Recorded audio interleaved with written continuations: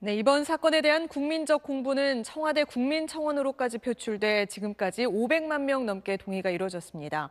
어제 답변이 나왔는데요. 민감용 경찰청장은 6만 명으로 알려진 가담자 전원을 공범으로 수사하고 신상 공개도 검토하겠다고 밝혔습니다. 보도에 전병남 기자입니다. N번방 사건 관련자들을 처벌하고 신상도 공개하라는 청와대 국민청원 5건은 불과 일주일 만에 500만 명 넘는 동의를 받았습니다. 민감용 경찰청장은 운영자 조주빈뿐 아니라 가담자 전원도 공범으로 간주하겠다고 답변했습니다.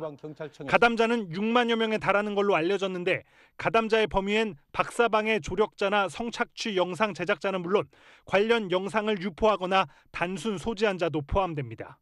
경찰은 이들의 신상 공개도 검토하기로 했습니다.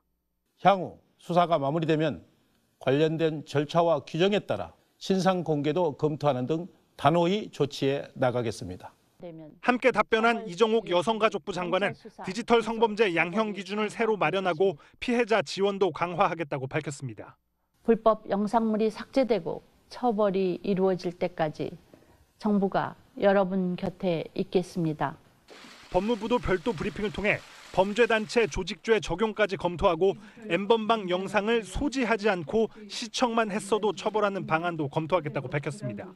국회에선 사이버 성범죄 처벌법 제정에 관한 청원이 하루 만에 10만 명의 동의를 받아 입법 청원이 성립돼 입법 논의가 시작될 걸로 보입니다.